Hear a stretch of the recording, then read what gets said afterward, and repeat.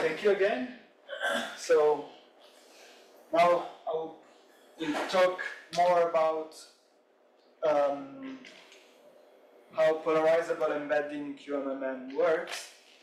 So, well, I don't think I need a motivation, but just to recap, uh, one of the most important things, and you know because in, you are in the condensed phase uh, institute or lab, we are interested in the chemistry that occurs in condensed phase, where usually, not always, but in many processes we have molecule and so on, uh, a molecule or a system of interest which is embedded in some kind of environment where we have a bulk of the environment, but we also have some specific interactions. So for example, here we have hydrogen bonds. So, uh, and in particular, light-driven processes are really affected by this environment. Um, so, for example, absorption and fluorescence, also dynamics, nonlinear spectroscopy, whatever. Um, so we want to resort to multi-scale QM classical models. And there are basically two ways to do this. One is continuum models. I, I won't talk about these, but just to, to mention them, where we don't have fixed electrostatics, but we have a cavity, and we assume that the solvent, the environment, is a dielectric that can reorient and respond to the solute's density.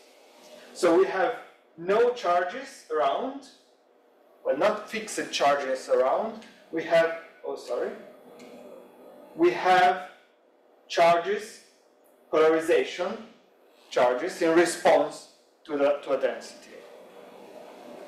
So in, instead in atomistic models, you usually have QMMM, so you have fixed charges on the MM atoms, and if you want to introduce polarization, you can do several things, and one possibility is to introduce induced dipoles. So each atom can bear a fixed a point charge, but also a point dipole can, that can be induced by uh, an electric field. And the idea is uh, we want to use this kind of multi-scale models to describe light-driven processes. So let's start and go directly to the QMMM pole method. So with QMMM pole, I, I mean QMMM where you introduce polarization uh, as induced dipoles. So you have your QM part where you have this density, and of course you have the nuclei, but the important thing is that, that you have uh, extended, let's say, electron density of some kind, and this interacts with charges of the solvent or environment, also with induced dipoles. And these dipoles can be induced by the external field and can polarize back the QM part. So this is the important part so you can decide to, to write the energy in this way. So you have the QM energy that depends on the density and or wave function. And then you have QMMM part, which includes, let's say, the QMMM interaction and all the MM, uh, the electrostatics and polarization part of the MM.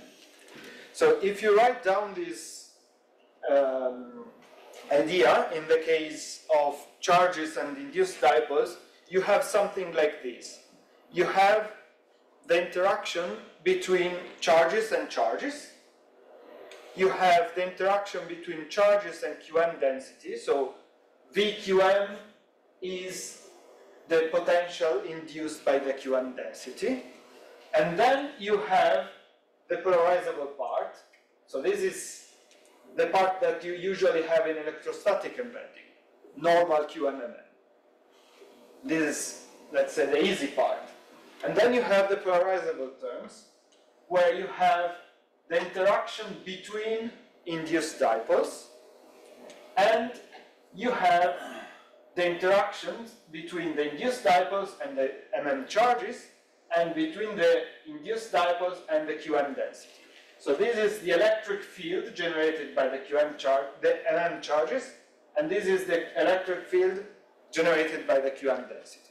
So here the, the mm charges can be described exactly as you do the nuclei of the QM part, but then you have also the dipoles, so you have to do something different. Um, so one important part is the self-interaction between the induced EP, IPD, induced point dipoles.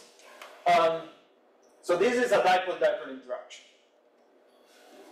And the important thing is here is that this diverges for small distances, which means that you are likely to undergo the polarization, what is called polarization catastrophe, which means that when the distance is small, this interaction can explode, and if, if these dipoles are induced one by another, they both go to infinity. So we need some kind of screened Coulomb kernel where this interaction is exactly equal to this one for large distances, but then goes to a finite value at shorter distance. And This- there, So this is like the, uh, the Lennard-Jones one over R, the twelve. yeah, kind role, of, Kind yeah, of. kind of. Yeah. yes. And, oh, well, this is similar to uh, dispersion corrections in DFT,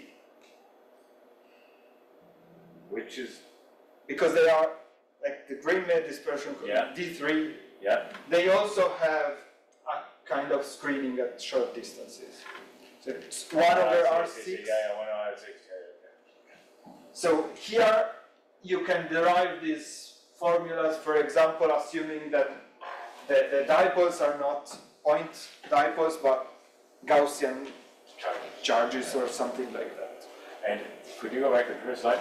Sure. And so the, these alphas are the polar, the atomic polarizability. Exactly. So each atom bears a polarizability, which in this case is isotropic which is um, the same, so the polarizability for every element is the same.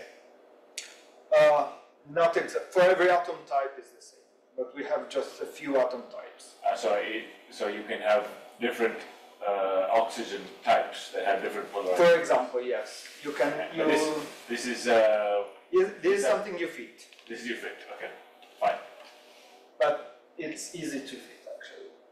Um, anyway, so we take this and we want to write it in this way.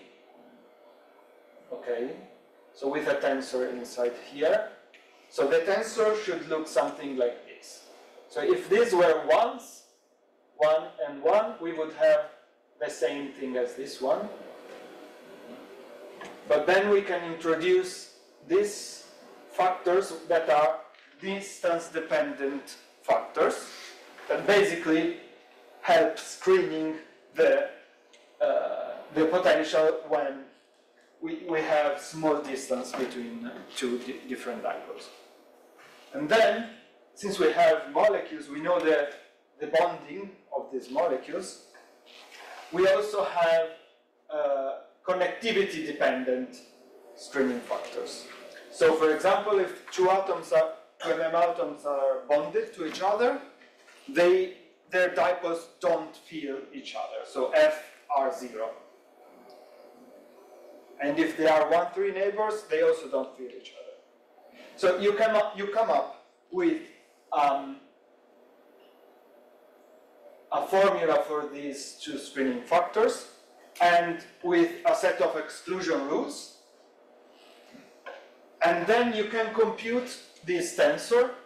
And if you um, if you take this matrix here, ij, so on the diagonal you have the inverse of the polarizabilities, and then you have this. If you take this and you invert it, you get the polarizability of the system. So you can do it for a molecule, you can calculate the polarizability and fit the atomic polarizabilities so that the molecular polarizability works. And But, but you do this, uh, how exactly, do you do this on, um, on different molecules. molecules in isolation? Yes. Then, uh, so how, when, then when you put them in, uh, in an environment, Yeah. uh, those polarizabilities will be different. You assume You- that they are. So you assume that the Yes. same, and I guess there's good reason, I guess the changes will be very small. Yes. Yeah, the electronic polarizabilities Exactly. don't change much. Exactly. So Yeah. basically, once you have a set of rules, so how you construct this tensor, you can compute either the response to a field or directly the polarizability, and you can tune the atomic polarizabilities so that the molecular one works. But it turns out that you just need a couple of different atom types for some elements to reproduce polarizabilities quite well. So we, we actually never refit polarizabilities. Oh, Oh,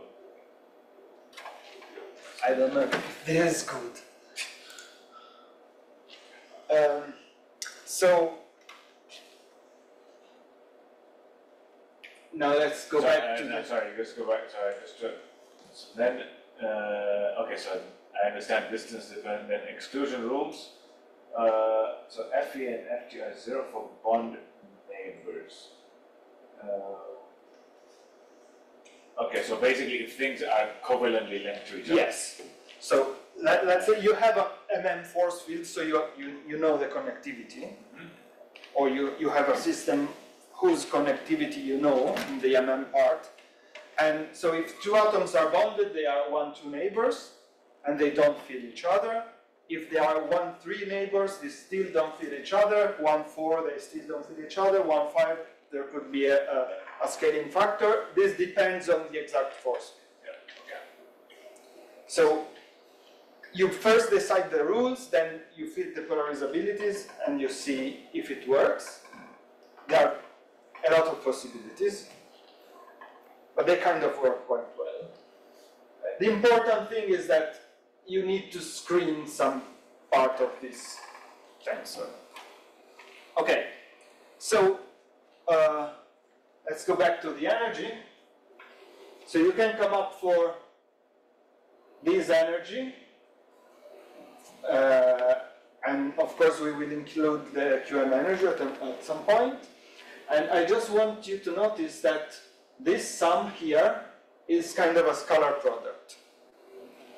Okay, because it's a sum of mu i times um, all the electric field.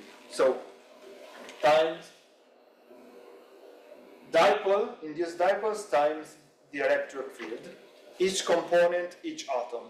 Okay, so sometimes I will write something like this, so like a, just to, a shorthand notation, uh, also to show that this is a bilinear form.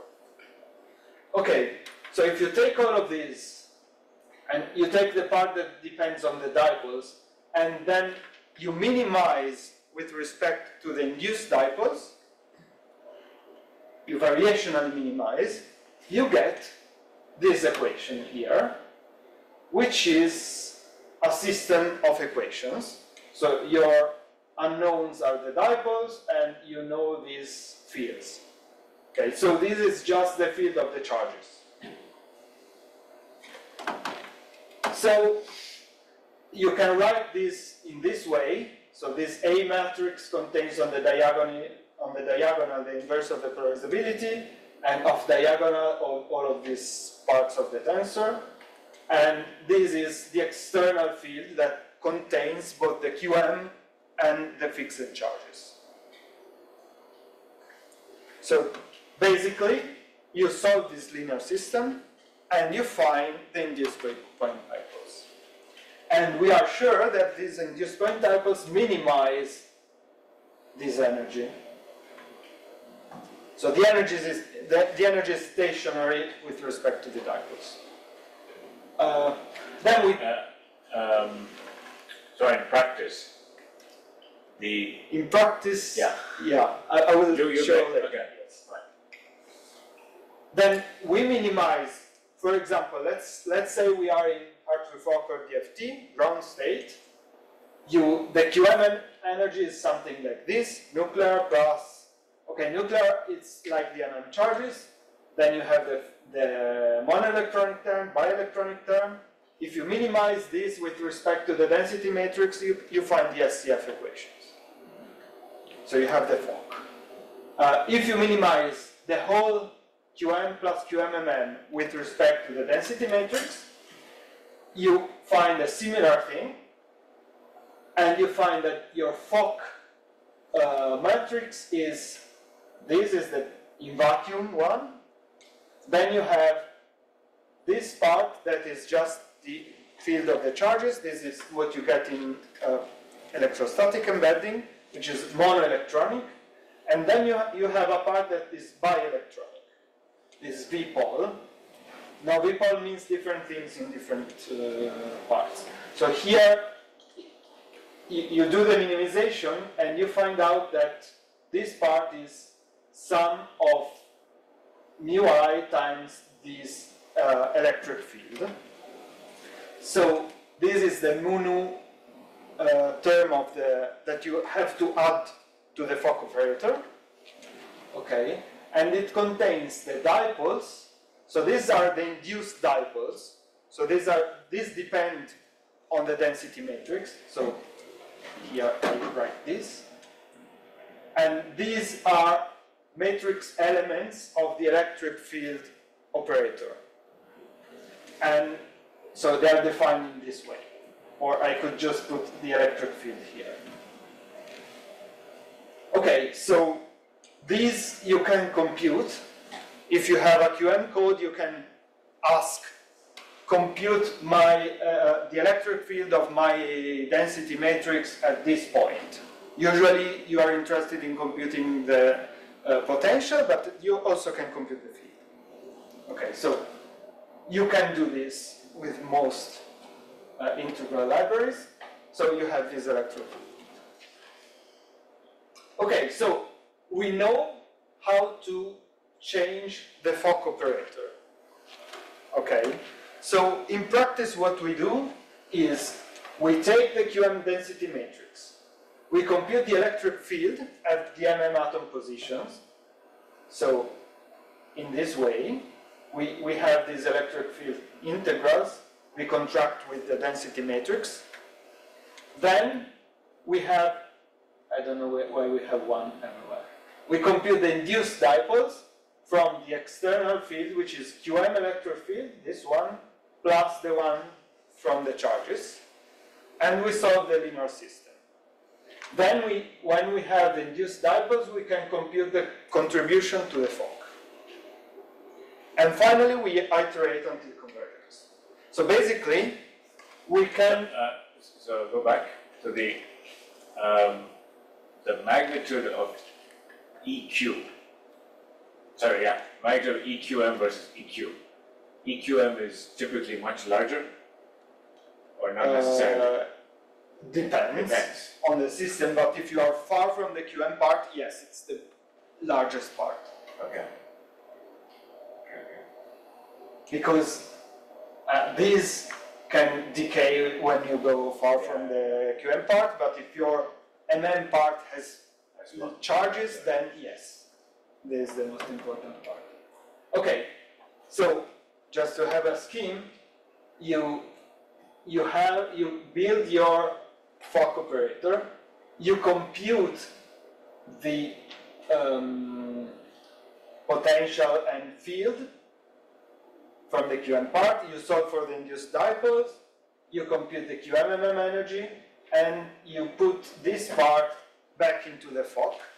You solve, when you have the or Kohn-Sham matrix, you solve again the, the SCF, you get the electronic density, you check the convergence, if you're not converged, you compute again the field, you compute again the induced dipoles, and, and so on. Okay, so at every time, at every SCF cycle, you have to find the induced dipole solving a linear system.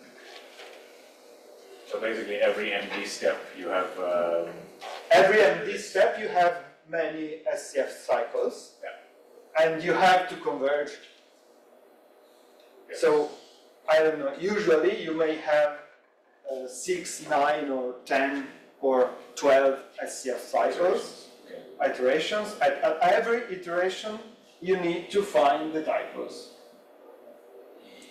I see. And um, is there, do you gain by taking advantage of, of history?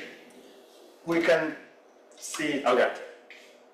Okay, so basically, in the QM and pol, MM energy, you have the QM energy, the uh, uh, energy of the charges, the bilinear QM induced point dipole and charge induced point dipole interaction, and the quadratic self energy of the induced point dipoles. Um, and then, if you take this energy and minimize variationally, you get both what are how you find the induced point dipoles and how what you can you, what you have to put in the QM Hamiltonian or the Fock. Now this is easy if you have SCF because you are already iterating. You already have um, the SCF iterations already in vacuum, so you just have something more to compute at every SCF step. Um, I'm not going into this, but if you have a post SCF um, thing, you, you have to do external iterations, which is more complicated. But in theory, you can do everything like this, especially if your QM, QM uh, method is variational. Here, everything is variational, so we are fine. Okay, one thing that is not variational is AMOEBA. So, why we need AMOEBA? Because AMOEBA is a complete force field. But it's more complicated. First of all, it doesn't just have fixed charges, but it also has fixed dipoles and fixed quadrupoles. So the fixed electrostatics is, is more complicated because you, you have to compute the interactions between all multipoles up to order 2 and then, for some reason, the polarization energy is not variational because there are two sets, two different sets of induced point dipoles. So the variational formulation is not possible. We need to use a Lagrangian formulation, which looks like this one. So this self-energy of the multipoles is the same thing as the self-energy of the charges, but now we have multipoles. And here is the polarizable, polarizable part. And basically, we have one set of dipoles that only interacts with um, the uh, QM electrostatics, and another tem- set of dipoles that also interacts with the fixed multipoles. And they have different exclusion rules and different screening. So you you basically compute them differently. So the second term there, Yes. uh, basically, the, the quadrupole, Yeah. uh, can induce a dipole Yes. on. Yes. the- Okay. So you have I see, charges, charges, dipoles, and quadrupoles. You can compute their total electric field again on the uh, MM atoms, and then you compute these. They interact with mu p, but they don't interact with mu d. yeah, It's a bit complicated. no, I see. Or they interact differently with mu d. And mu d don't interact among themselves. It's a bit, it's a mess. But if you do the same kind of minimization, you find that the contribution to the Fock is similar, but you have to So- account for both can- dipoles Can you go here. back? So, Yes. um, so then in all of this, um, you do Ewald sum. Uh, no, No? they're done differently, at least in uh, Filippo's implementation. Um, we do fast multipoles. Okay, so it's another, Yes. okay, some variant to uh, get the Yes. long range electrostatic. Yes, exactly. It's, it's Okay. another fast dimension method. okay, But I don't go into this because Uh, I don't know the details. Anyway, so here you have two different set of coupled systems of equations, so it's more complicated to solve, but you can do basically, it's almost the same thing, just a bit more complicated. Um, and now, uh, if you have the, a way to have the energies, you, the energy, you can do the derivatives and get the forces. So if you have a variational or a Lagrangian framework, both the energy and the Lagrangian, in the case of AMOEBA, are stationary with respect to the dipoles, so the, deriva- the derivatives are easier to compute. I don't show all the terms, but basically, if you have the derivatives with, with respect to the QM atom positions, you have for example, for the charges, you have the interaction of the charge with the derivative of the uh, potential with respect to the positions. So these again are uh, integrals. And for the polarization energy, same thing, you have interaction of the dipoles with the derivative of the electric field. And then for the electrostatics, this is the electrostatic part, for the MM part, for the electrostatics is just the interaction of the charge with the derivative of the potential, which is the electric field.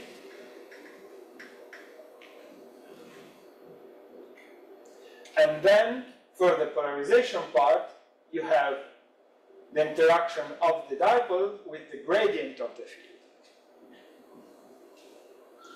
And then, also you have the fact that the interaction between two dipoles to induce dipole changes. So you have the derivative of the interaction tensor. But this is, these are two similar things because here you compute the gradient of the, of the QM field and its contraction with the dipoles.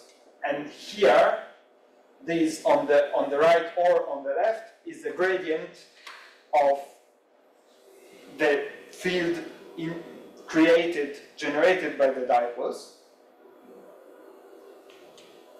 uh, that interacts with the same dipoles, with the other dipoles. And because these dipoles are, because the energy is stationary with respect to the dipoles, you don't need to have the derivative of the dipoles themselves. So you first compute, when you, when you know the induced dipoles, you just compute the derivatives in this way. You don't need to know how they change. Okay, um, so basically, you need, for electrostatic terms, you have up to order L, you have to compute the L plus 1 derivative of the potential. So if you are up to quadrupole, if you, if you have charges, you have to compute electric field. If you have dipoles, you, you have to, to compute the electric field gradient. And if you have quadrupoles, you need to compute electric field Hessian. So you, you have to compute this for the dipoles, for, for the fixed multipoles themselves, and for the news dipoles, and for uh, the QM part. So in particular, you need a QM uh, code that co can compute these integrals. So for example, libint or libcint, these are three centers two electron integrals. Okay, uh, so let's go ahead to the response and excited states. So for example, when you uh, use TDDFT, um, excited states are computed as poles of a response equation. So you have this linear response. But linear response is also more general. So if you have an external perturbation like an electric field, you can compute the response to this external perturbation with coupled perturbed equations. Uh, so this, for example, for frequency-dependent polarization, you have something like this. Also for mag magnetic properties, you have something like this. Um, if you don't have this part, you get to the Casida TDDFT equations. And these A and B matrices are the Hessian of the energy with respect to the density matrix.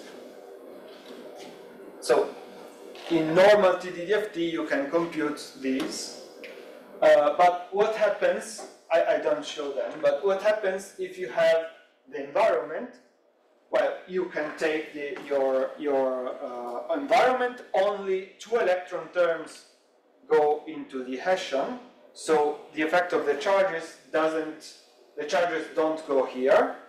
So if you only have charges, these terms you compute like in normal TDDFT, but if you have polarization, which is two electron uh, property, you get an additional term inside here uh, or explicit. So this is a term, the same term is added both to the A and to the B matrices. And this term looks like this.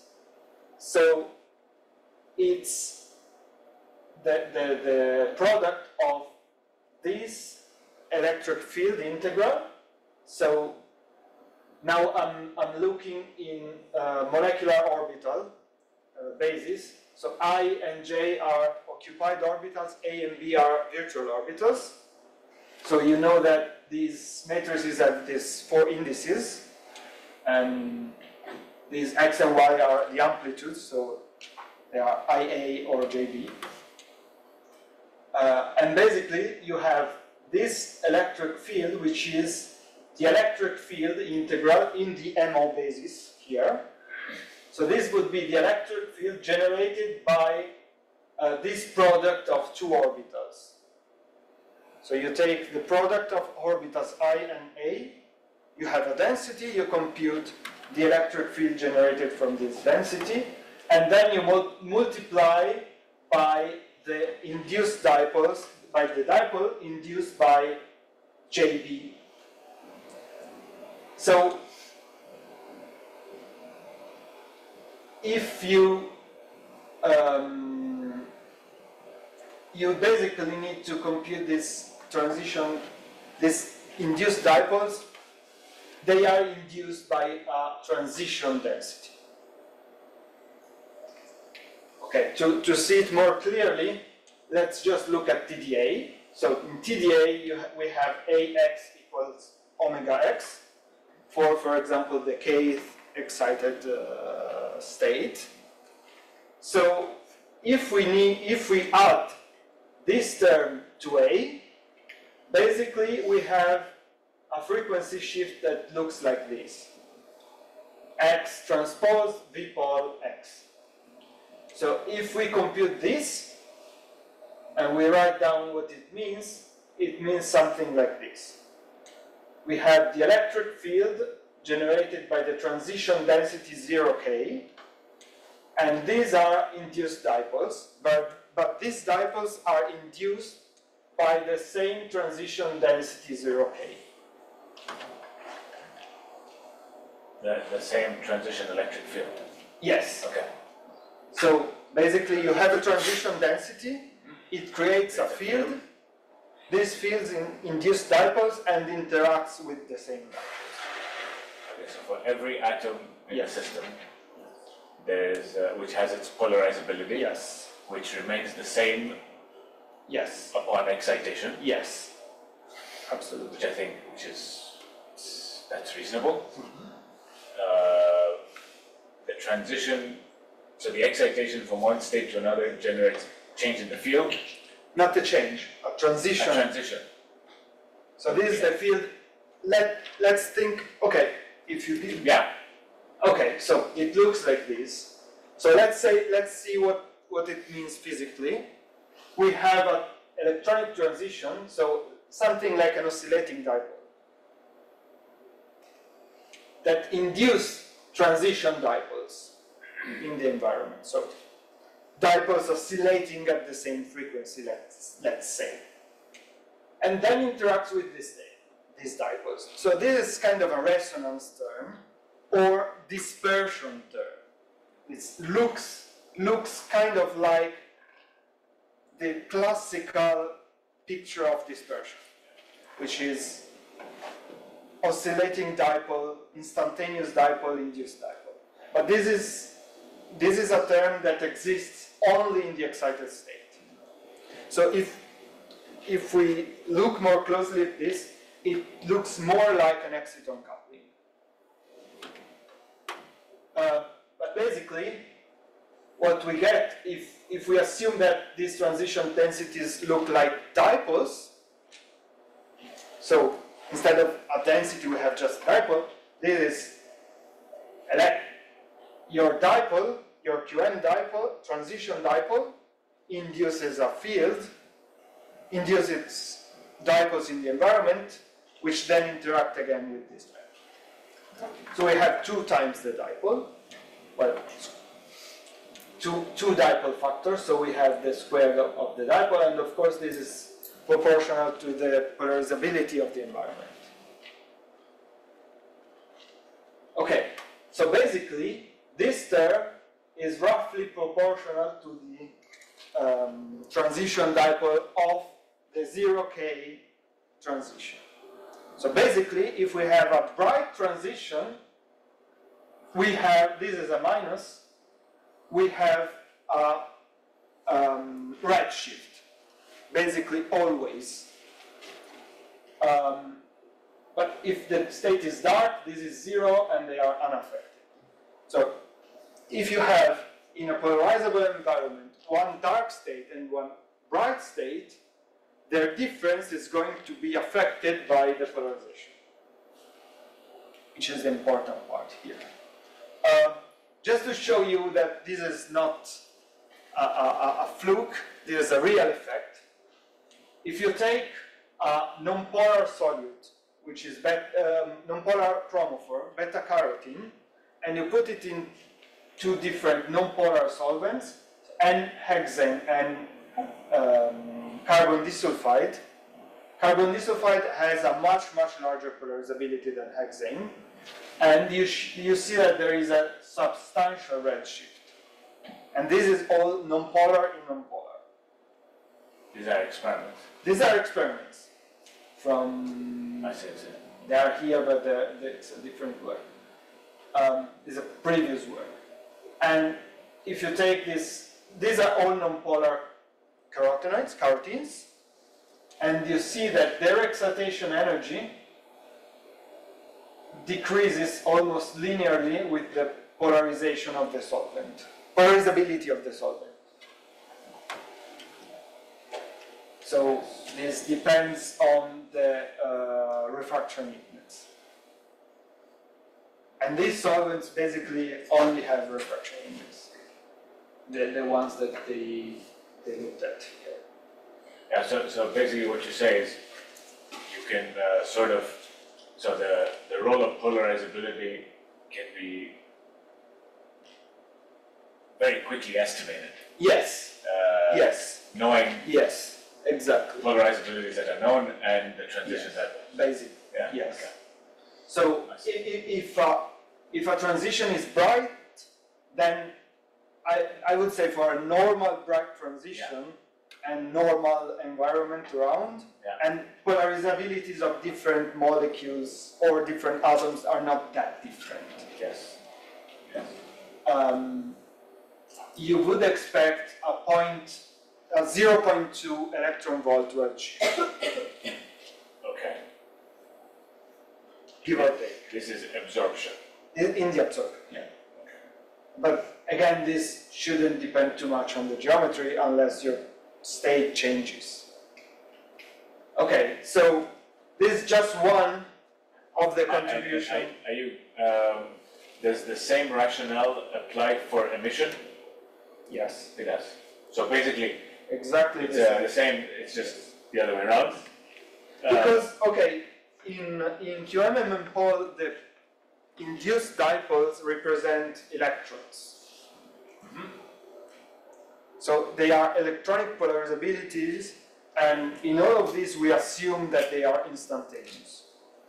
Or at least, we can expect that we have a low energy transition in the solute, and the transitions of the environment will be higher energy, so faster. I see. So they are at least as fast. Otherwise, if your solvent has the same transitions as your solute, you have to treat you have to treat them differently. Um, so this is just one of the contributions. Uh, an obvious contribution that you already have from the charges is that your environment changes the orbitals, changes the energies of the orbitals, so when you compute the excitation energies, this will give you a difference. So if you put charges, you have different excitation energies because you have different uh, orbital energies. But you don't have an explicit uh, part in the linear response equations, for example. It's all one electron. So we have seen that if we take this linear response, we get um, an effect of the environment that makes sense, but it's just one contribution. Um, another contribution is what is called state-specific contribution. So this would be the response of the environment to a change in the QM electron density. So this is different because basically you have to, to think that you have a ground state, you have some dipoles that are induced by the ground state density, you change the electron density, you get to excited state density, this density changes, the electric field changes, and then the dipoles will, so, will also change. The dipoles of the environment. They, they- exactly, the Okay. induced dipoles will also change. Yeah. This is a different effect, which we call state specific, in the sense that uh, we have a different contribution for each state. So each state has a different density, which gives you a different contribution. So if you compute this contribution, this was first done within continuum solvation models. You compute this contribution, uh, it's basically you have it's similar um, uh, formulas before. Here you have the electric field induced by the difference density. Um, and this is the, these are the, the dipoles induced by the same difference density. And the difference density is, is the um, density difference between kth excited state and ground state. So this density difference, if you are in TDDFT, you can compute it, right? To compute it, you take this, which is called the unrelaxed density, that would be the density you compute in a CI expansion. But then you also have this term that um, it's called zeta vector, and it has to be computed by solving these zeta vector equations. So if you if you want your QM code, for example Gaussian, to compute the excited the excited state density with the TDDFT, first you solve the TDDFT equations, and then you have these zeta vector equations that are CPHF equations. And you compute these additional contribution. So this would be called the relaxed density. Why do you have this? Because basically this density gives you the correct dipole of the excited state. Like the dipole as uh, derivative of the energy with respect to the electric field. This relaxed density gives you the correct dipole. So if you have TDDFT, this is more complicated because you first have to compute your TDDFT and then compute the density and then compute this. And this is just an approximation because then you would change the density and then recompute. We don't do that, we do uh, this in a first order approximation. So basically, if we introduce the, the environment in linear response to TDDFT with the derivative, with the Hessian, as you would do for linear response, you, you get one term, which is dispersion-like or resonance term. We call, we call it linear response term, so it's clear. And this is one effect.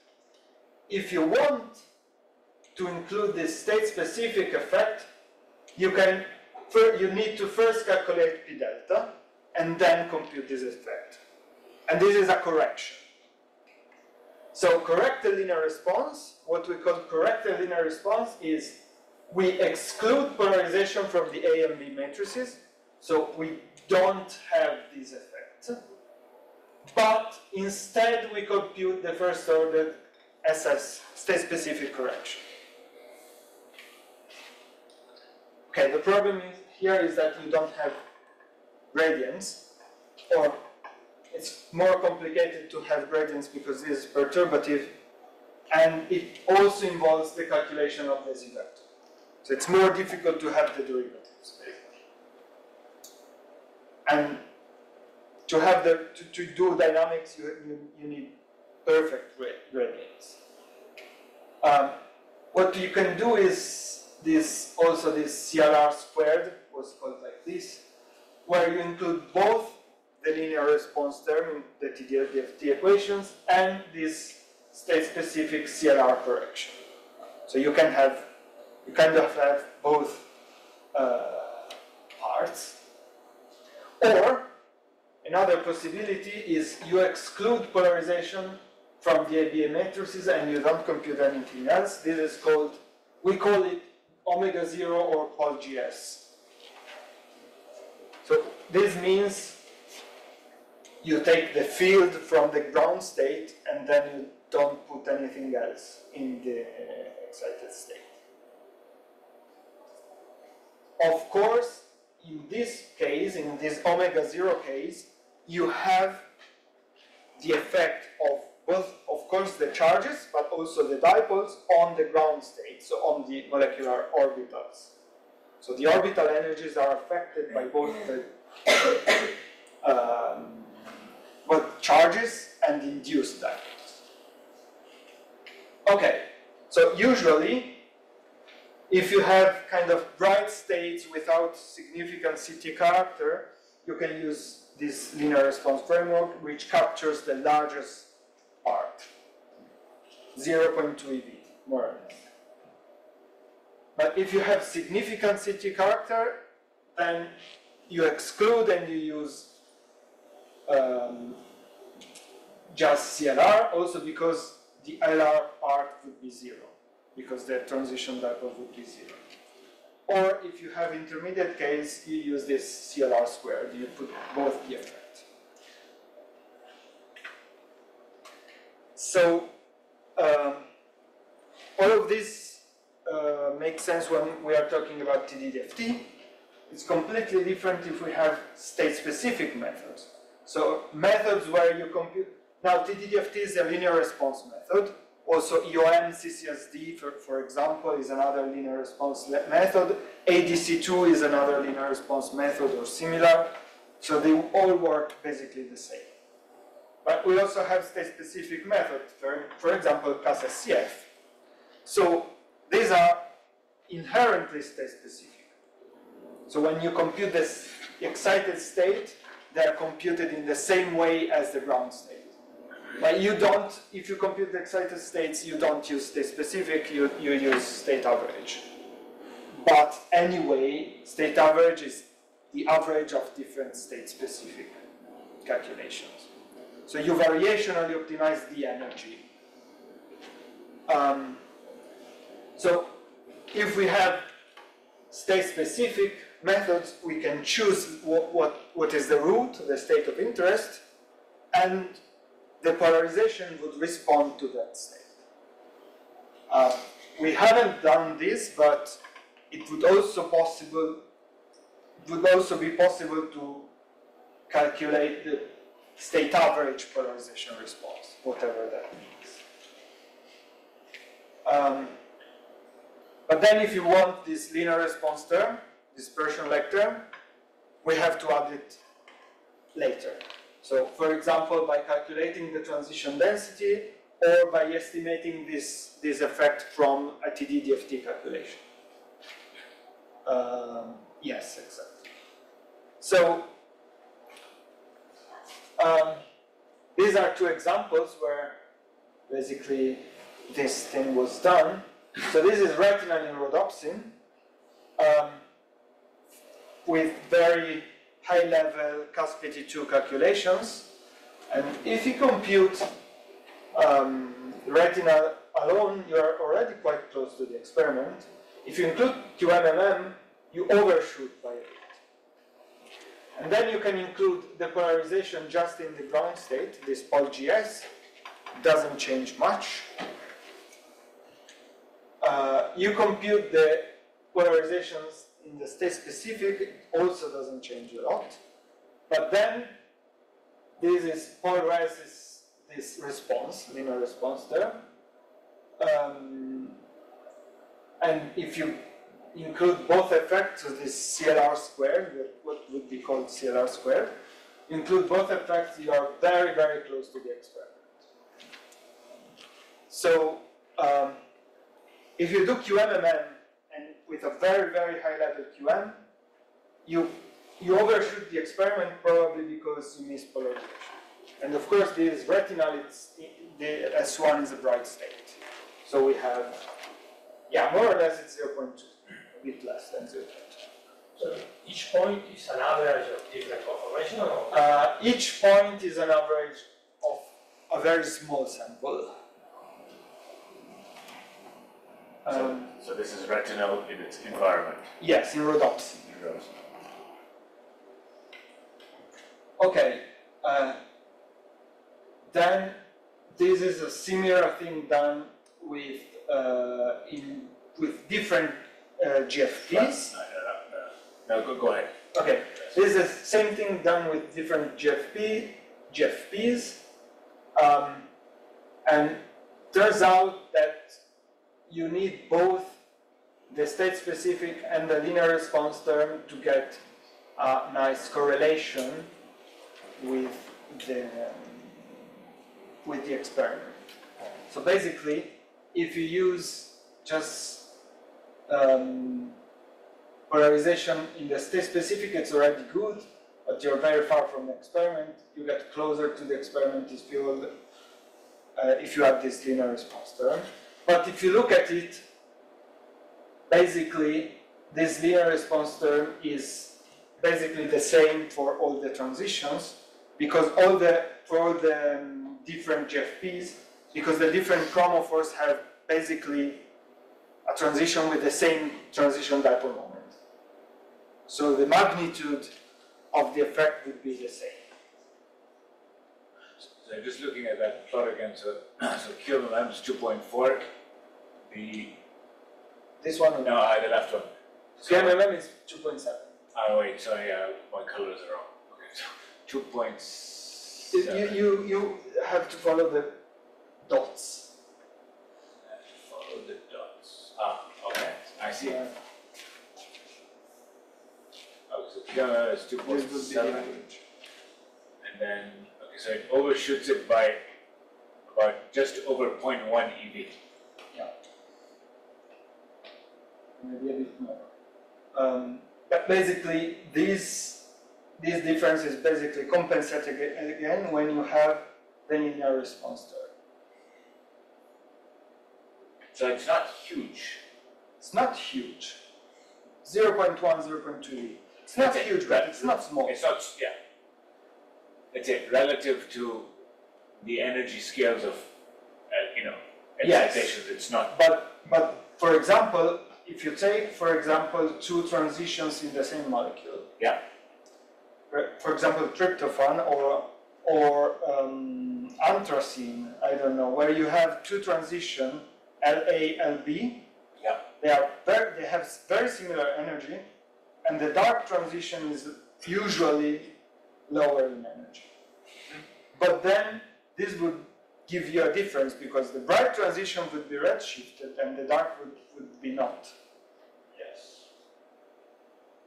So in these cases, it could be important. If you are, if you are comparing different uh, GFPs, for example, this would be completely systematic. So you probably don't care. I guess, so, I'm wondering, um, would, would one see bigger effects, uh, for chromophores in liquids with different polarities? Yes, with different Different, polarizations. po- with different polarities. Yes. yeah.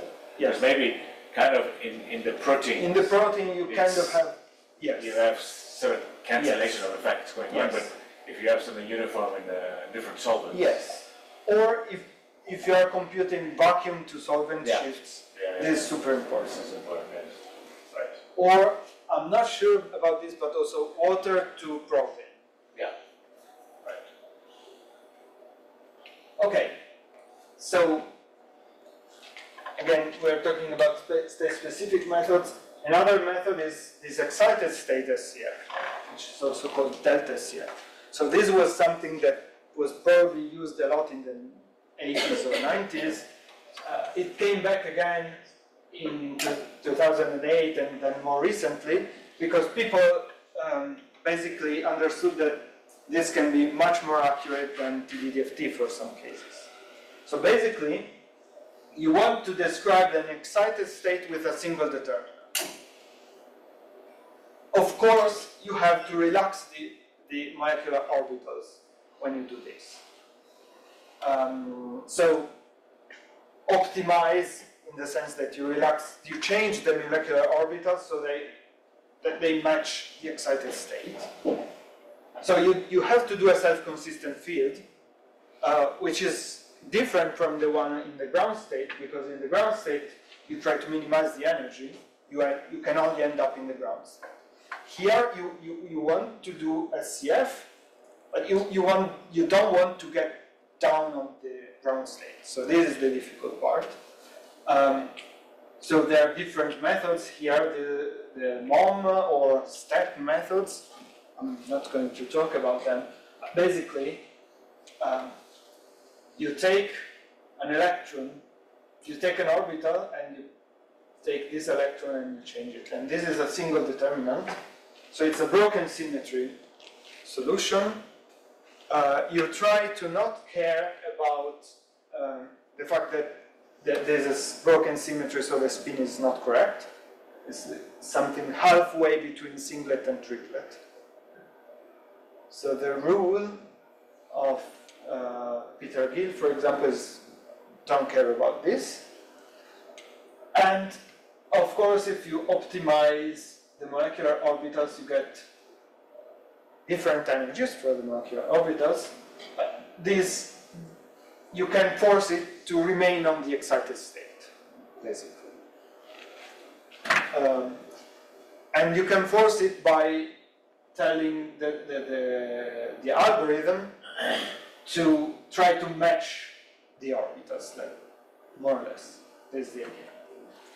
Okay, what's nice about this and um, and polarization is that this is just self-consistent field. So the integration with polarizable embedding is completely straightforward. And it's the same you have on the ground state, which means that it's state specific. So if you do delta SCF, um, you do state specific. So this is an example on uh, APPA, which I showed you this morning. Um, so this is the QM part. Of course, we have all the protein around. And the excited state we are interested in is the CT state, where one electron goes from this tyrosine to the flavin. And this CT state So if, if you compute the excitation energy at the omega zero level or linear response, you see nothing changes because the transition dipole is zero and we say that this linear response effect depends quadratically on the transition dipole.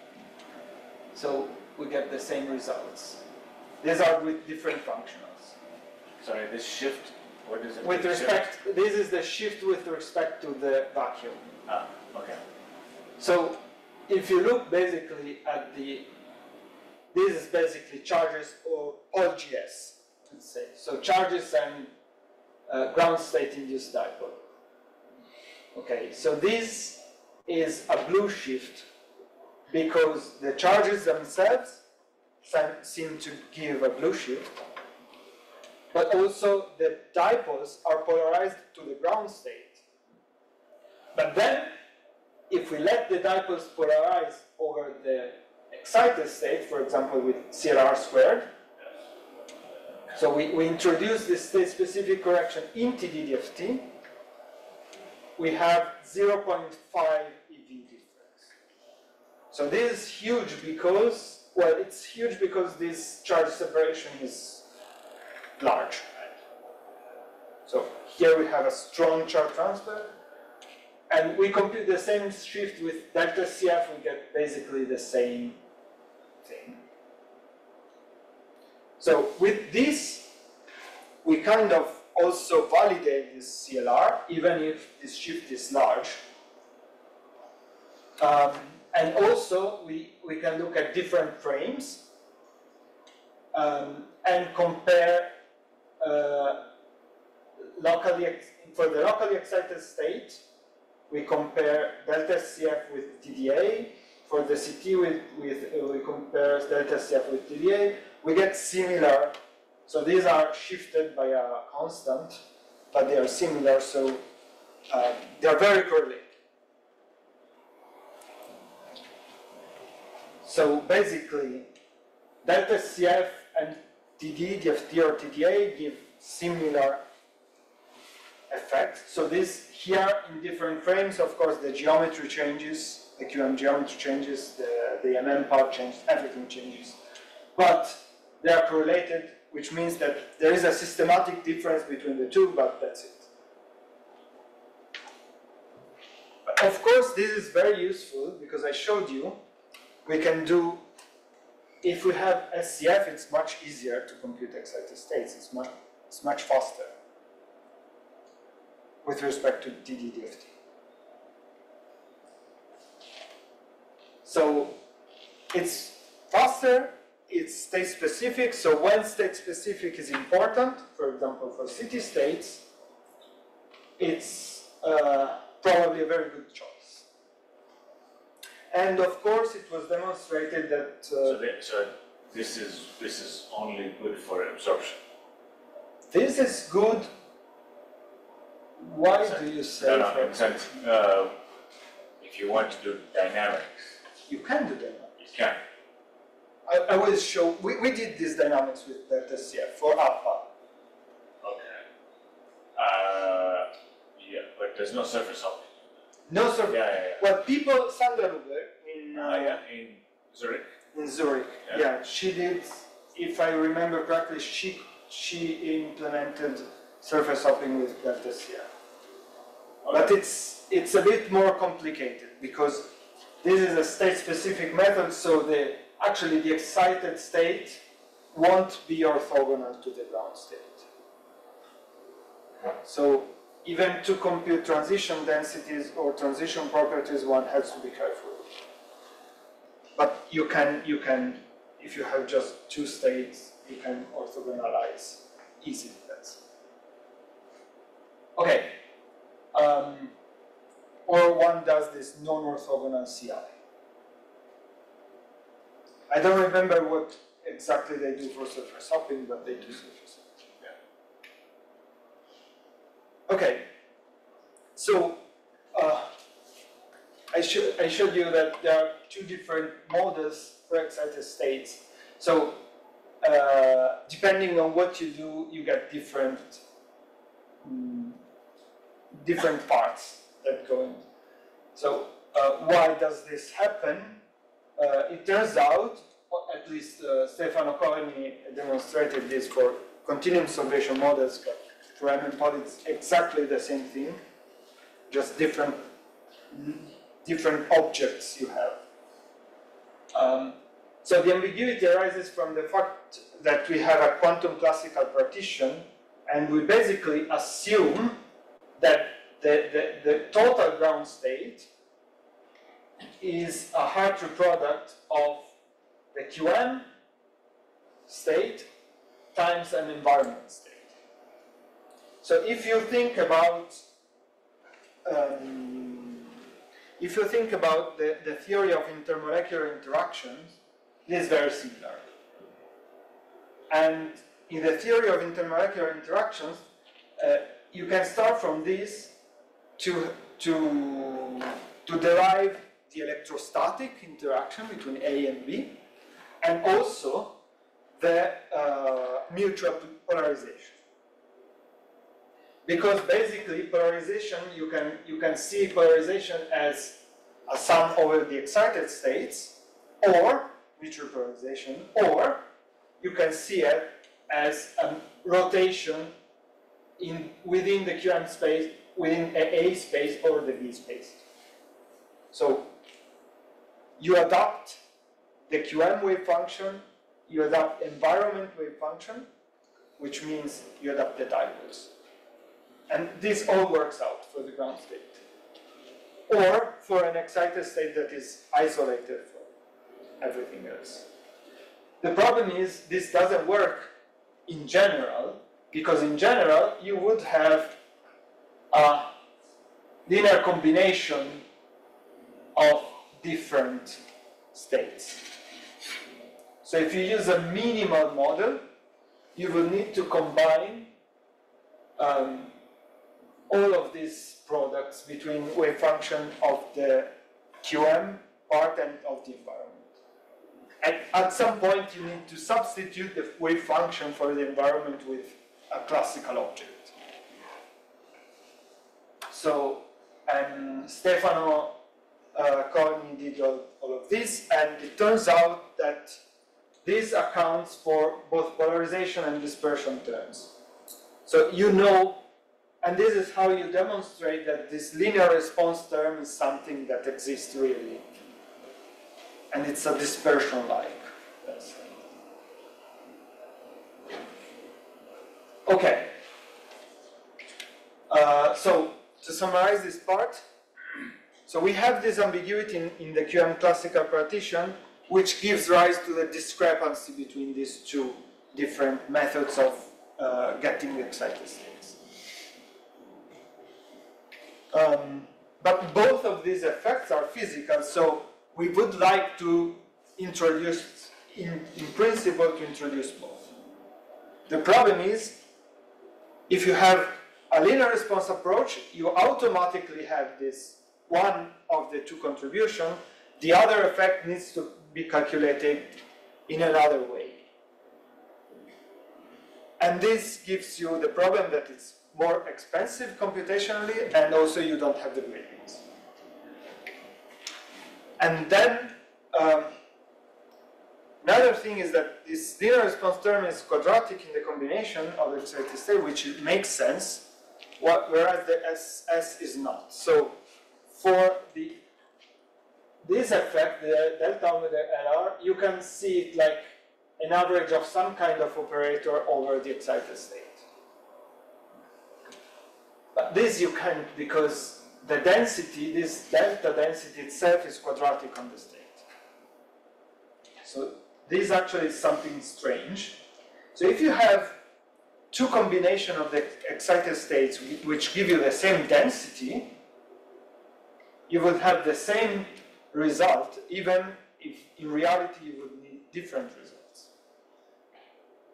So for example, you can think of two excited states which are A plus B minus and A minus B plus.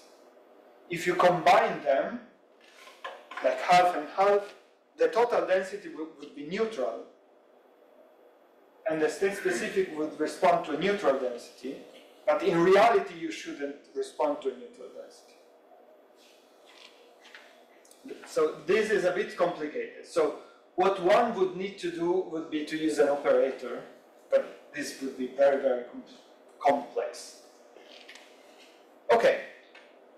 So I want also to show you some uh, parts of molecular dynamics with polarizable QMM.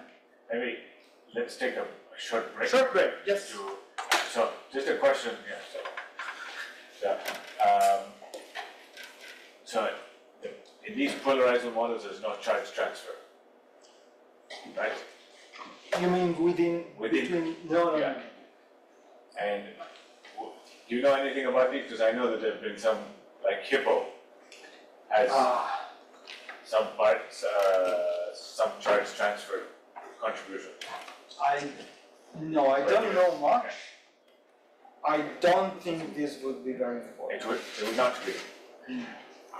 Unless you have some specific system where you have really charge transfer, you can measure, like, you can compute QM that you have a lot of charge transfer, and that you cannot get the same effect with just polarization. Right. I didn't know about that. So, because you, you know, you can think of polariz, so charge transfer is like the extreme form of a long range polarization, Yes. right?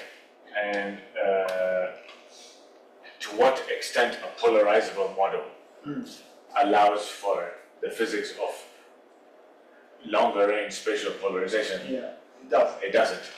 Which of course, in the full-blown, uh, electronic structure, it would be there. Yes. Um, But I, uh, I can't think of a case where, where this is, this would be important and you cannot put it into, into the QM part. So, so, ah, you can't, okay, Because, I mean, the, the, the answer would be put this into, into the QM part.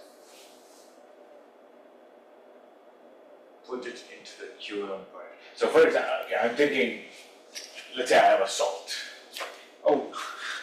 a salt in water, Mm-hmm. um, and, uh, the charge on, let's say, a chloride ion, Yeah, uh, gets smeared gets on the water. on the water. Yes. And so, which you will not get from polarizable potential. You wouldn't, yes. I- So, so I, I'm thinking in, yeah, in the context of, in, in, in liquids, liquid like water Mm. interacting with ions. Um, Okay. Ah. I don't know, I think there are works that compare for sure QMMM with QM with, yeah, but they, they are not very clear probably. no, no, no, no, sure. Uh, well, one has to try. yeah, no, no, no, right. And, but one, you, you would need to be very, very careful because very careful to have a QM method that is reliable. Absolutely. In these cases, Yeah. like that doesn't over, Over delocalized because yeah. charge, yeah, self-interaction uh, and all this business. Okay, okay, so if you want to take a break, Lorenzo, Yes. please.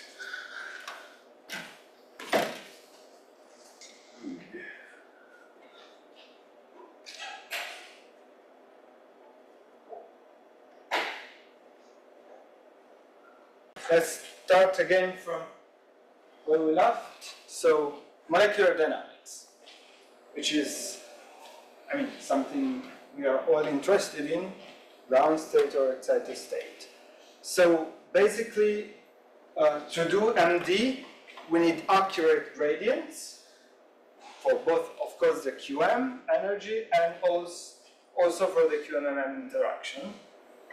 This is also true for optimizations, but probably for MD we need more accurate gradient. And also we need a complete force field if we want to do something moving also the MM, MM part. So basically we could do, if we don't have a complete force field, we can move just the QM part with a frozen MM part or just do optimization.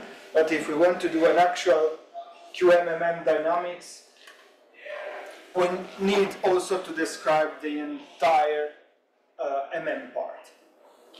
So this is why we need to use, for example, AMOEBA, which is a bit cumbersome as I showed you. And of course we need, so we, we have this, we have AMOEBA, and we need an interface between MD engine and QM program. So what we have is this kind of interface. So this is a triple, let's say, interface between Tinker, Gaussian, and Plumed. So basically what we do in Tinker is we have position, we compute the energy and forces, and we integrate the equation of motion. So Tinker computes all the known electrostatic non-bonded forces and all the bonded forces, of course for the MM part, and then it runs Gaussian. Gaussians has position, MM parameters, and QM, QM settings. Only positions are passed to Gaussian. These are already known somewhere. Gaussian solves the SCF, maybe the, the post-SCF, so the excited state, for example, computes the forces, and computes all the electrostatics and polarization. So all the MM electrostatics is computed here, computed here in Gaussian. Then you have all the energy and all the uh, QM forces and contribution to, M, to MM forces. And it must be in Gaussian, right? Right now, yes. And then back to Tinker. Then if we need, we run Plumed with to, to get bias forces, for example, constraints, restraint, actually restraints, um, uh, biases. We want, for example, we, we don't use per- periodic boundaries, so we have this droplet. So, for example, we have a bias that keeps waters inside the droplet. All of that, all of this, you have the forces and, and you do the dynamics.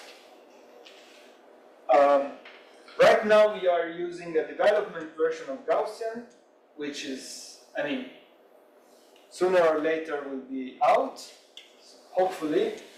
And one nice thing about these interfaces, it's all based on these binary files. We don't write text, so it's much faster. And another thing that I will show you is that we have a procedure to extrapolate the SCF solution. Um, so, before this, what is also important is to have an efficient implementation of QM/MMPol because you don't want the MM part to be a bottleneck. So here, the, the computationally expensive parts of the, of the MM part are computing the electric field integrals because you have to compute the electric field mu nu integral for each mm atom. It's a lot. And of course also the potential and for AMOEBA also the gradients gradient induction of the electric field. You have to compute all of this and also you need to compute all the interactions between induced dipoles. So these are a lot of computations. Only with fast multipoles this is possible. So if you use fast multipoles and iterative solution with preconditioned gradient, you basically get linear scaling in the size of the MM part.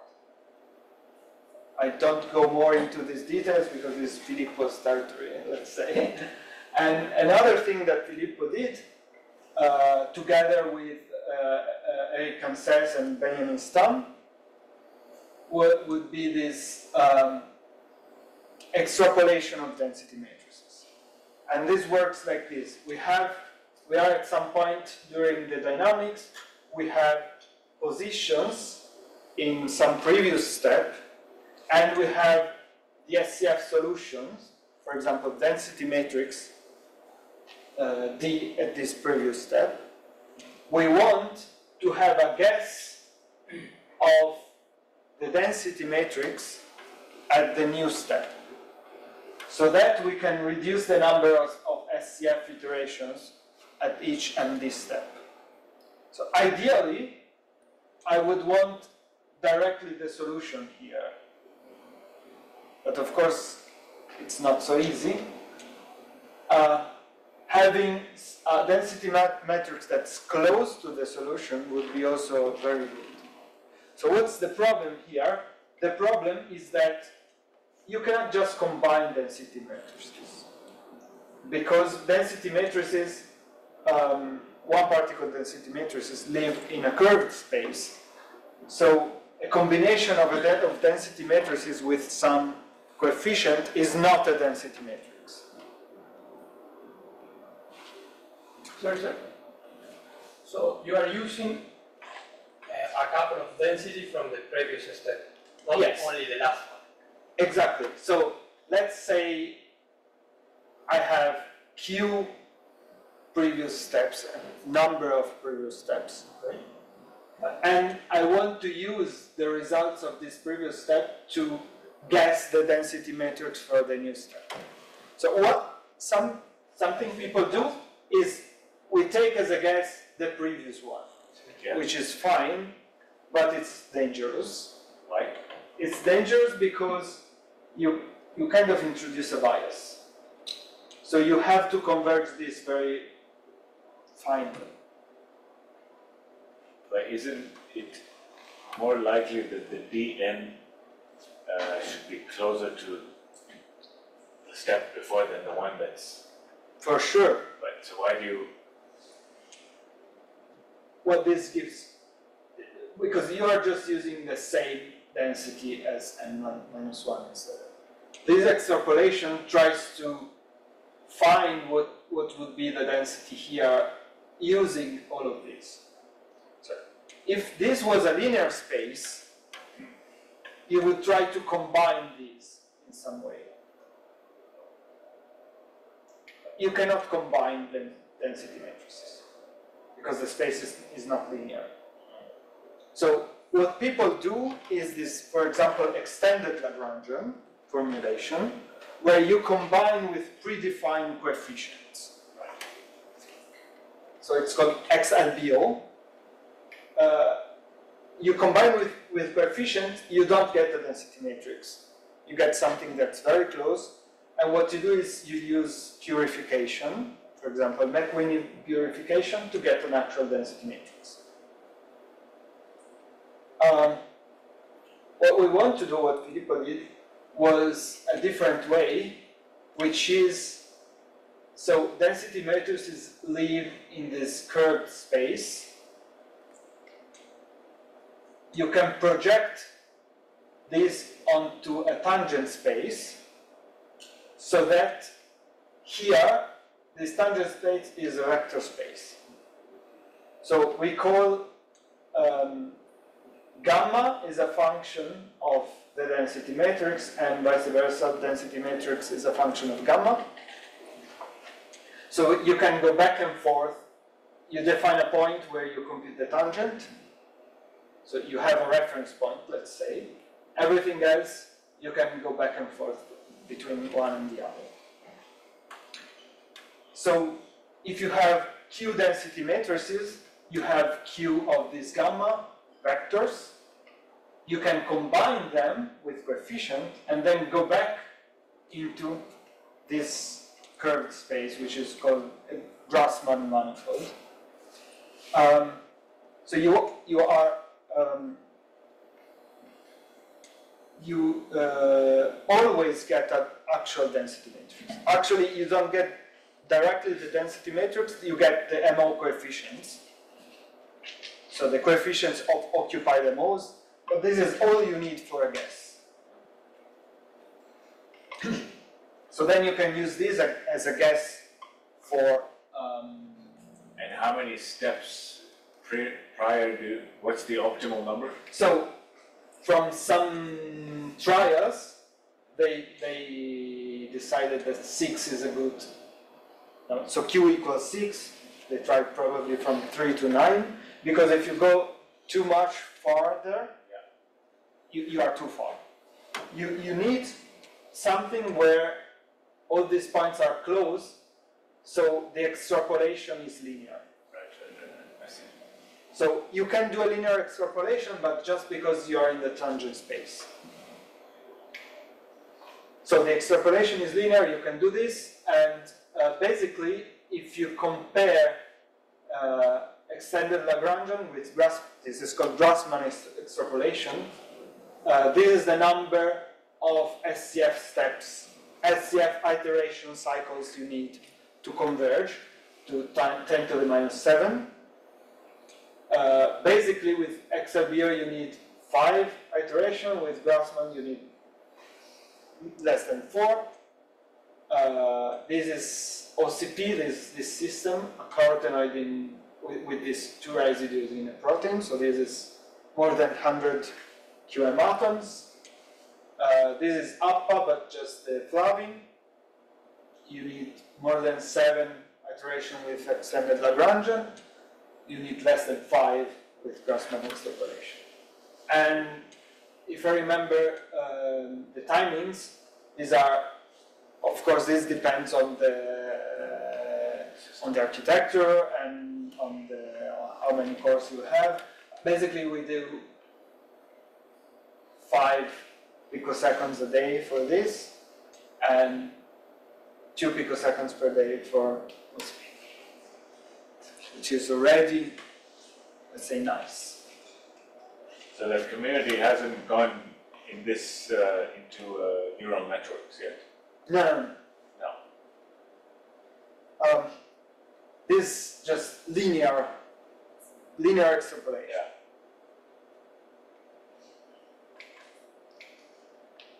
Okay, um, so right now this is, uh, okay, initially this was not uh, time, time reversible.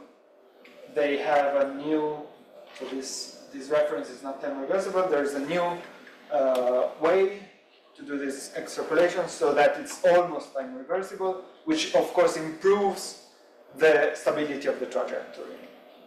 So the goal here is to have the, the um, uh, less tolerance on the SCF convergence, but still have a stable trajectory. So yeah, the problem, so XLBO gives you uh, time reversibility, and so it always give you, gives you a stable trajectory, but you need more, more iterations. These, with, with these parameters, the trajectory is stable, and you need fewer iterations. And so I showed you the uh, delta SCF dynamics. So These are all CPU. all CPU, yes. Delta CF dynamics, you need this. If you don't have this, you cannot even do dynamics.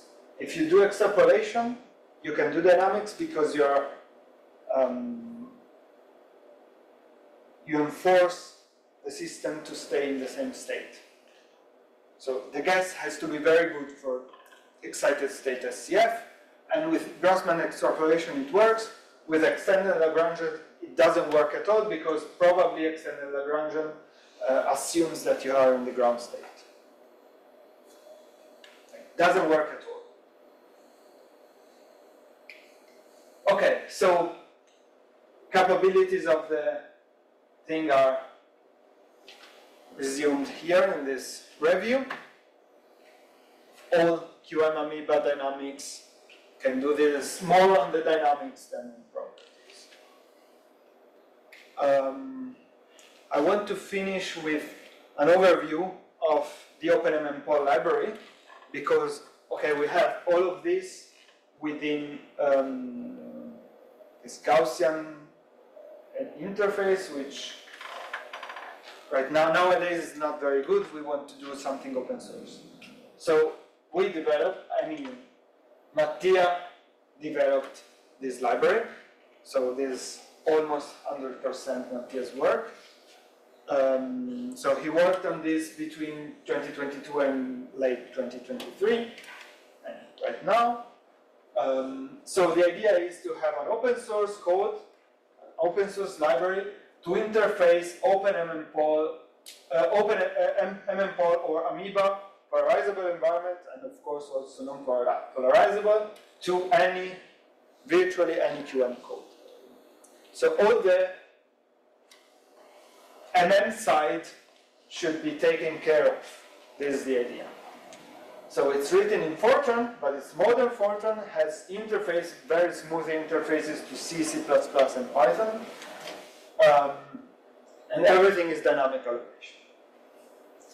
So parallelized with OpenMP and can be distributed as shared library. So compile, you, you get a .so, and you link it to your QM code. Um, so what what can we do with this? We can um, so MMPOL or Amoeba, so normal charts and, and induced dipoles or strange Amoeba stuff. Analytical gradients, so we can do MD and geometry optimization. Atoms can be frozen. Link atoms are possible, and we are we have everything, so all MM terms, bonded and van der Waals, so no, no need of using Tinker. Um, so, but alone can only do the MM part, also polarizable, but you need a host QM code, so we built a, a nice interface to PySCF. The reason is PySCF is also open source and easy to tinker with. So right now with the PySCF interface, we can do DFT ground state with gradients, so MD, MP2 energy almost done, uh, optimization with this geometric uh,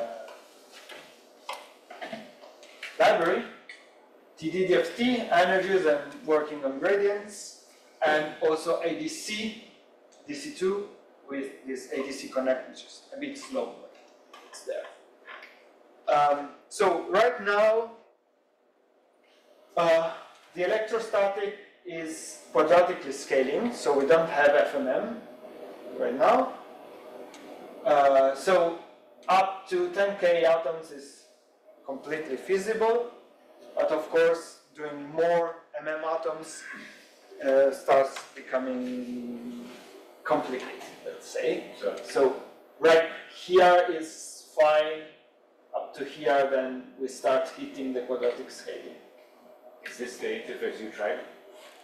You know, we were trying to do these uh, tests on glu- uh, glutamine. For the parameterization? Yeah. No, no, No. it was with Tinker. It was with Tinker. So now we don't need to use Tinker. Well, probably for the parameterization, yes. Unfortunately. Um, So we were having trouble with getting parameters polarizabilities. Yes. okay, Yeah. we We can can, yeah, yeah, yeah. talk about. Okay, so the most difficult step is for the force is the mm, is uh, computing the force, and a- another important part is the electric field integrals, because this has to have to be computed by the QM code, and they are generally slow. Gaussian has very very good integrals code. No one else does. Uh, so when you have 100,000 mm atoms and you need to compute the field, uh, field gradient and so on on all of these atoms, then it becomes a bottleneck. Anyway, you can do something like this. And the, the, the paper is actually out. Forgot to put the reference, but you look for OpenMMPol. Uh, so basically, right now we, we have different ways to uh, initialize, describe the MM system. One is this format, which is what we used with together with Gaussian. It's called MMP. It cannot be used for uh, MD simulation because it doesn't have all the MM parameters, let's say. It only has the, the charges and polarizabilities. So it's good for, for example, um, single points. Then you can need, you can read Tinker files.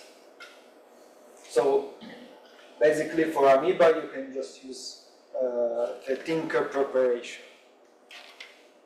Or a binary file that is uh, corresponds to all the data, but with we can kind of generate it with OpenMM Paul, I'm not sure we can do everything. And we can transform this XYZ plus PRM5 to this MMP for just for us. Um, and then all the information that's needed is collected in a JSON file. So this collects like what to do, what file is the XYZ and so on, what to read and so on. Uh, and all the settings, verbosity, cutoff distances and so on. So ideally, within PySCF, you read this JSON file. And then you call the library. Um, so basically, if you already have XYZ plus PRM file, you're you're done. You're basically done. Um, and then you can generate the JSON and this cut XYZ file containing just the MM part. And then you can provide. So basically, you have to prepare the input files, and the, right now you basically need to have XYZ and PRM, and PRM file for the entire system, and then the uh, preparation will cut. Um, so the idea is to try the official procedure for Amoeba, which is not something easy, uh, but it's doable. It's an art. Some sweat. And then you can use this to split the QMM and generate JSON input and so on. Um, so this would be the JSON file, name, description, where is the XYZ file, where is the PRM file, with and this MD5 sum because uh, Mattia is a bit uh, over thinking maybe. What are the link atoms? And the QM part would be here. Uh, and of course you need a PRM also for the QM part because the van der Waals, for example, would be So let me ask, so the model, this, it's always a cluster, yes. and so you never had any issues with the, let's say the, the pressure gradient between, Um, so you can you can do two things to avoid this. You either freeze the the outer outer shell, shell, yes? it's super easy, people Yeah, yeah. do this at the time, or you introduce um, a wall, potential like this. I see, So at some at some cut, so and up to here the potential is zero, is the radius, yeah, and from here you, so this prevents, uh, Yes. okay, and you can basically decide this radius to have a certain uh, density. I see, okay, This because basically periodic boundary conditions are not possible. All of this is already open source. so Yes. So if, for example, if you want to study a system in which there are parameters, you can Yes. run. And if something does not work, we ask Mattia.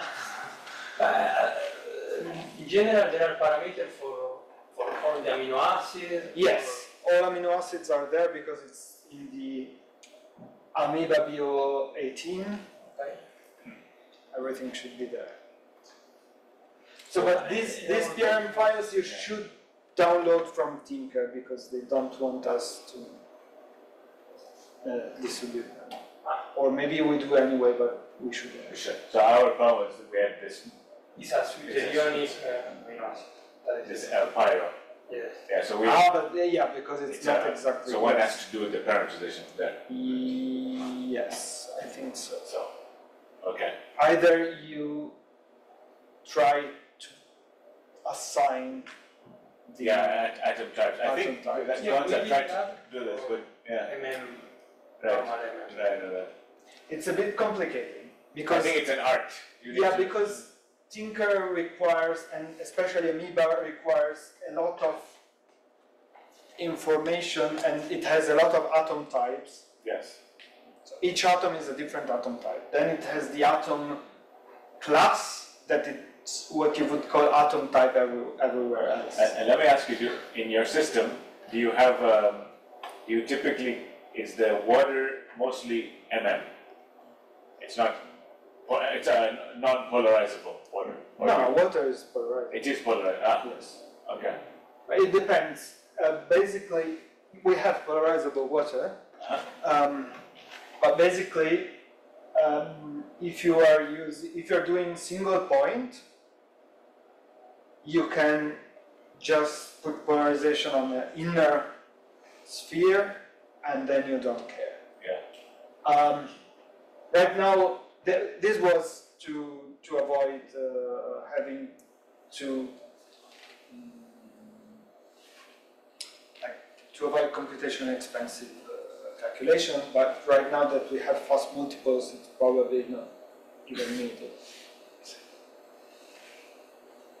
Um, in the dynamics, may, maybe you can still save something if the outer layer is an M, but then you have to fit to freeze all the MM part. So every frozen atom is also non-polarizable, and every polarizable atom then they are separated.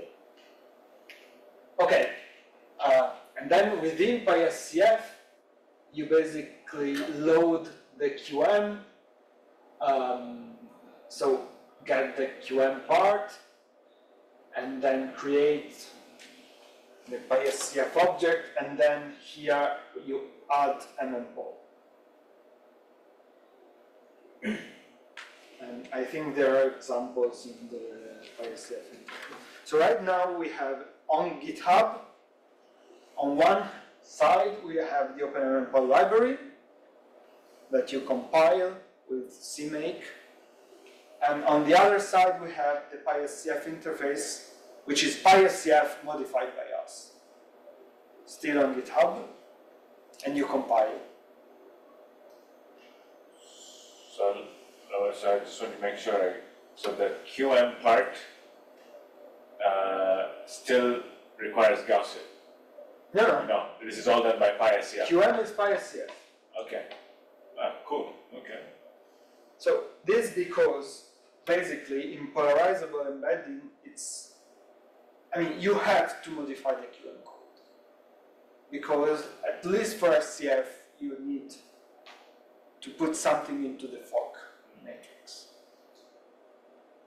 So basically, there is no escape from this. I mean, there is an escape, but I, I really, personally, I don't like this. I mean, the escape is, uh, you only polarize the dipoles, but the, the QM density doesn't change. Change. But this This is strange. completely defeats the purpose. Um, so, yeah, What's the difference between the PySCF that you guys have and the normal PySCF? there is inside this part other, other than Paul that computes, that does what, what we have to do basically. Let's go back. Back, back, back.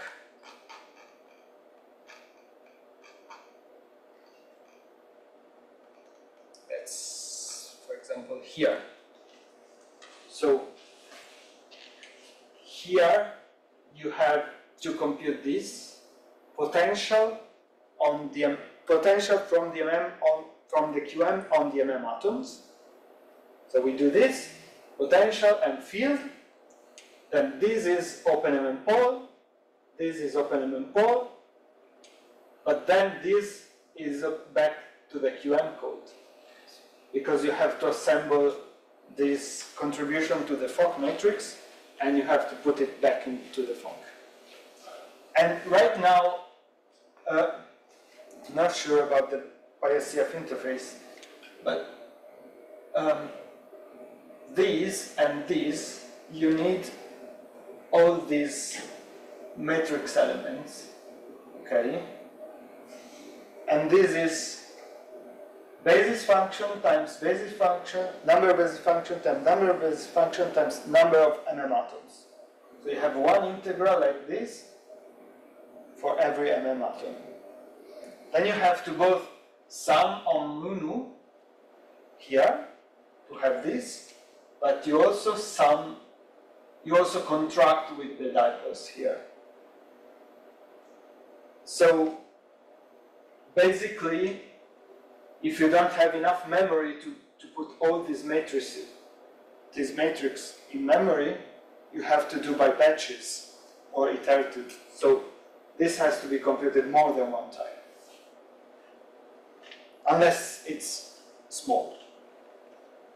So all of this has to be done on the QM side. So there is some work on the QM side. And in PySCF it's re- relatively easy. But we are building um, an interface with DFTB together with Marcus Elstner. Um, and we are starting to do something also with MOVAC.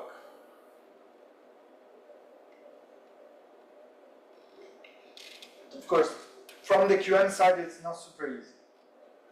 So, of course, we can treat all the part that doesn't need the QM side itself, but of course, these are these are calculated different differently or dealt with differently in each QM code. So you basically have to know the QM code. But then the interface is very clear. And there, there is no way around it. If you have, if you need something efficient, almost efficient, you need this. So, Otherwise, it's a mess. so if you have a, a protein with, I don't know, eighty amino, hundred amino acids with a, a bath of water, what's the, you can get how many picoseconds a day with, Well, it depends on the QM part. let's say you want to treat everything. Uh, so, so, oh, wait, what I mean is, um, yeah, so let's say you had twenty atoms in the QM region, Okay? and you had everything, you wanted the whole protein, all the water polarizable. Roughly, I, I don't know with PySCF, but I Okay. think it's a few picoseconds per day. okay, I see. Okay, Uh, maybe this is written in the yeah, okay. OpenMMPOL paper. Okay, so I think I am at the end. So just to have the acknowledgements. So Mattia, who started the MM, OpenMMPOL project and did almost all of it, and also Dr. Tommaso Nottoli, uh, who is now working together with uh, Danza on the library and the interface.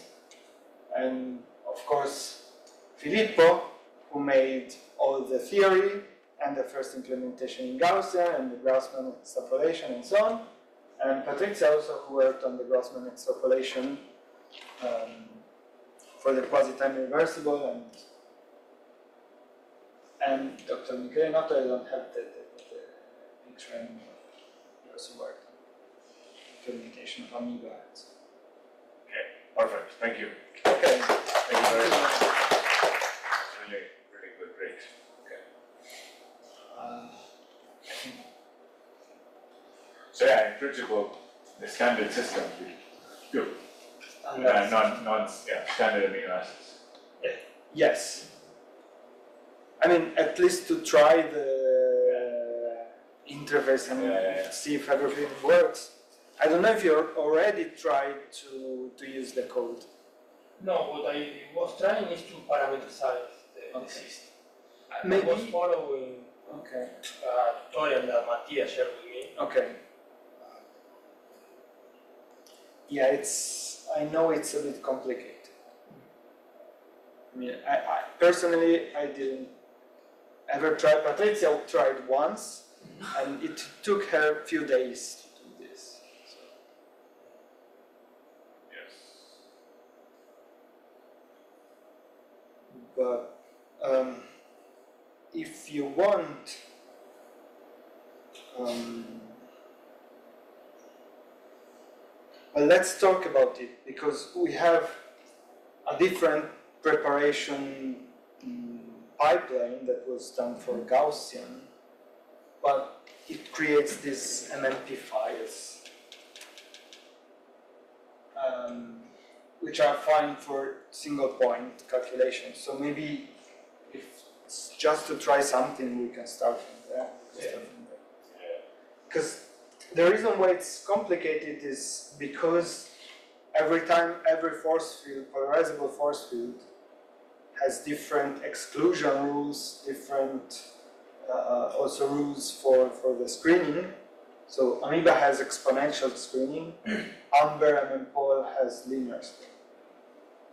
So they are completely different, so the polarizabilities will be different to reproduce the same molecular polarizability. And also, the charges or fixed multipoles uh, have to be derived together with the polarizability. Because, um, let's say you have charges, the charges will polarize the dipoles, right? So then you have to see the, the, the, the chart, the electrostatic potential from the charges and the induced dipoles in total should reproduce the electrostatic potential of the QM calculation. I think one of the problems with our, this pyroglutamine system Mm. is because even in the ground state, it has this acid-base chemistry. Yeah, this is And it- it's complicated. So, I think it's, it's a system the way coming up with potentials is probably not meaningful. I don't think, about that. Don't worry, for, uh, for, for the parameters, so the QM part, it will be Q, yeah, the dimer in which you observe this proton transfer. no, I'm- yeah, The MM, no, it's, uh, no, yeah, this is true. Uh, but I can see how it is Maybe we can stop the Yeah. recording. Yeah, yeah, we can stop the recording. I don't know how to. Ah, wait, uh, I, I'm not sure we can. I think they do it. Okay. I'm not sure it's on though, No, it, it is.